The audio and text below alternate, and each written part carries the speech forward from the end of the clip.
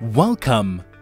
In this tutorial, we will go through the steps for making a split payment on the Engen One app using a voucher. On the forecourt, open and log into the Engen One app. Then, tap the first option, Scan and Pay. You will then be requested to remain in your vehicle while completing the transaction. Tap on Accept to confirm that you agree to remain in your vehicle. Next, scan the QR code shown on the POS terminal and tap on One Card.